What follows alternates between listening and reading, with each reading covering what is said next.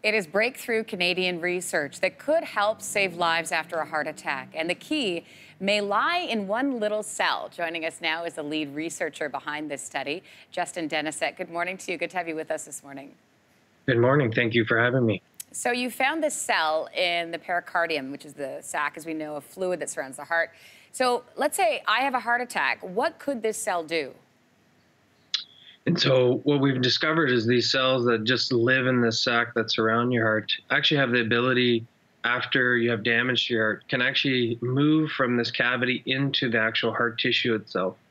And what it does is it actually uh, reduces the amount of scarring you have in the heart. And that's one of the, the major issues after you have a heart attack is your muscle is replaced by scar tissue and the scar doesn't doesn't beat and so it makes the, the heart work that much harder uh, to actually pump the blood to the rest of the body.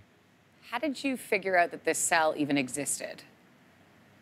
So we've known that the this cavity around the heart existed uh, for a long time. Uh, the problem is uh, when we model this in, in different animal models is people were just removing the pericardium during the procedure.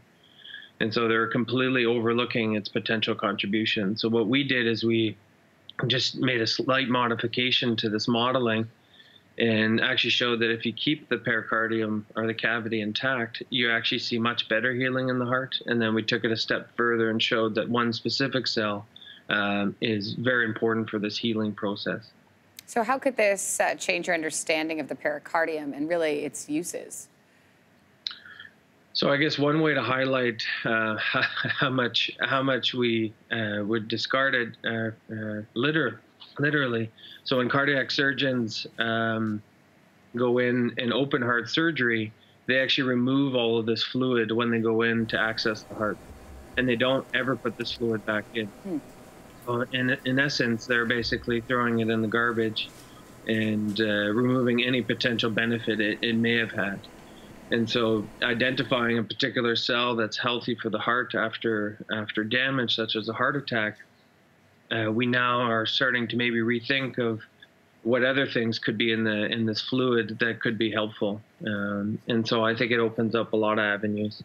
So you mentioned some animal testing. I understand you've tested the benefits in mice. So what happens yeah. now? Where do you go from here? So right now, the I mean, the eventual goal is to bring this uh, to, to human patients. I mean, that's the ultimate goal. Uh, so right now we have to develop strategies and how we can do this. So whether this means increasing the number of these cells in in the cavity in a human, either by uh, transferring them, or alternatively is figuring out the molecules that these cells make that can have the effect on the heart. And so can we package that up into medicines where we can deliver to patients that have had a heart attack? and so these are the things that we're exploring right now. Uh, we, we still got some work to do, but uh, it's a good first step uh, in the right direction, I think. Absolutely, absolutely fascinating, Justin. We appreciate your time this morning. Thanks for explaining it to us. Yeah, thank you for having me. Thanks for watching. If you like this, be sure to subscribe here. And you can check out more Your Morning videos right here.